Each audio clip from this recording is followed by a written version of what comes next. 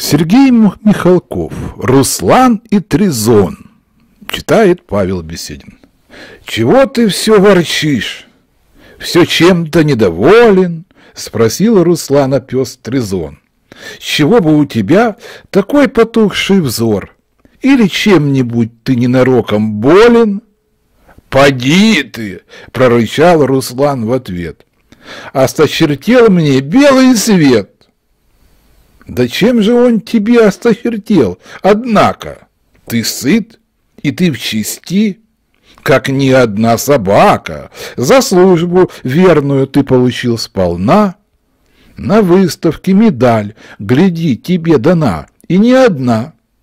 Чем на своих рычать кидаться, гавкать злиться, ты мог бы опытом с молодняком делиться. Слова мои ты не прими в укор, «Послушай, отвяжись!» – прогавкал пес Тризон.